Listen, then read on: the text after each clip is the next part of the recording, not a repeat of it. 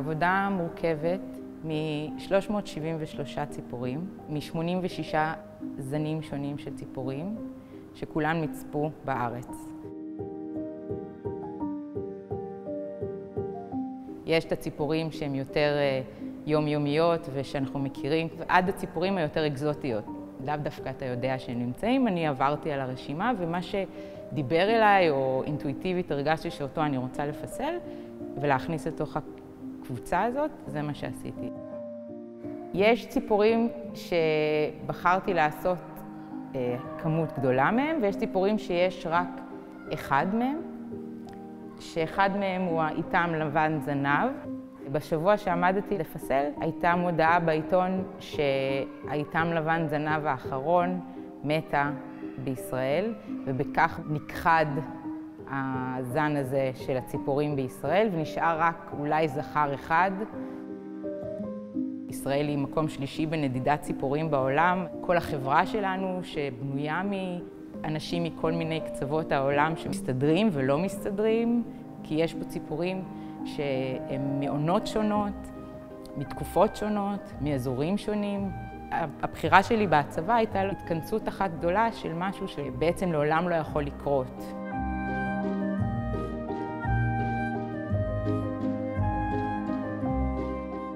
הכל מסביב הוא חלק מהמקום שאנחנו שותפים בו, זיכרון או נוכחות של משהו שאיתי בחלל, איתי בעולם, זה ניסיון כזה שלי לתפוס אותו לרגע אחד, להוציא אותו מההקשר ולתת את הפוקוס עליו, ורגע להסתכל עליו, ורגע לחוות אותו, ורגע להרגיש אותו. כי לדוגמה, הציפורים הן נמצאות מסביבנו, והן חיות איתנו, אבל שמים לב אליהן ולא שמים לב אליהן.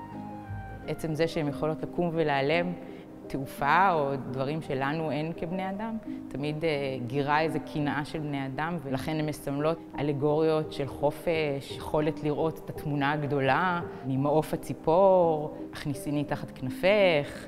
הם היצורים שהם מצד אחד יש להם איזה כוח עליון שלנו אין, מצד שני הם פגיעות בדיוק כמונו, אם לא יותר, ואנחנו פוגעים בהם. כל העבודות שלי היא משאבה. אני מחפשת תמיד משהו, או ליצור משהו, שיש בו אה, תחושה של משהו אנושי. שעווה הוא חומר שיש לו תכונות אנושיות. הוא משתנה עם הטמפרטורה, הוא שקוף כמו אור, וכשאתה חושב על משהו שהוא עשוי משעווה, אתה חושב שהוא יימס וייעלם. והפגיעות הזאת היא מחמירת לב, וזה מאוד מאוד אנושי.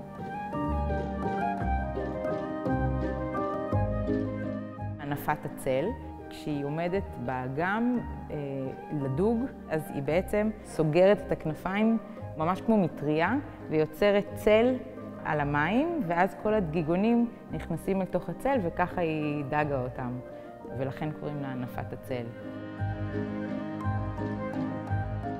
השעווה שאני מפסלת איתה היא מתרככת בידיים והיא מתקשה עם הטמפרטורה, אז ככה שאפשר גם לפסל אותה וגם לגלף איתה.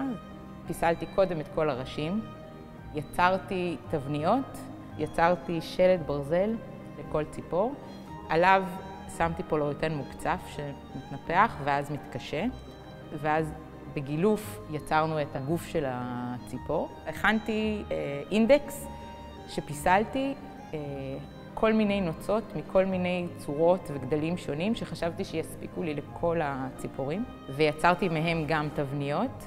יצקתי עם אסיסטנטים כמובן, אלפי נוצות. חשבנו שלעולם לא, נס, לא נסיים את היציקות. יש נוצות מסוימות כאלה שיש להן גם פיברגלס בפנים, כדי שייתן להן יותר חוזק, ויש נוצות שהן מודבקות אה, על הציפור, ואז כל הציפורים עם מכחולים ואיירברשים צבועות בצבעי אקריליק. להיות אומן זה הניסיון הזה של לייצר איזה משהו שיש בו חלק מהנשמה שלך או חלק ממך ו... ולחשוף אותו. הן עבודות פגיעות, אני חושפת את הפגיעות שלהן, אבל מצד שני, בסופו של דבר, כמו הנפש, הן פגיעות, אבל הן גם אה, חסינות ורזיליאנט, יש להן שלד, וההתכנסות הזאת של הציפורים היא ההתכנסות הזאת של כל הדברים ביחד.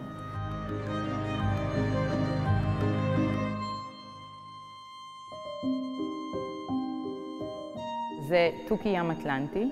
אמרתי, איך יכול להיות שפה בארץ שלנו יש תוכי ים אטלנטי? אז קצת קראתי עוד עליה, ובעצם אה, גופה של אחת נשטפה לחופי ארץ ישראל בצפון. אז היא נצפתה בארץ, ולכן היא נמצאת ברשימה של ציפורי ארץ ישראל, ויש איזה ייחוס כזה שיש לנו. היית פה, אתה שלנו, אז uh, הוא ה wild card של התערוכה.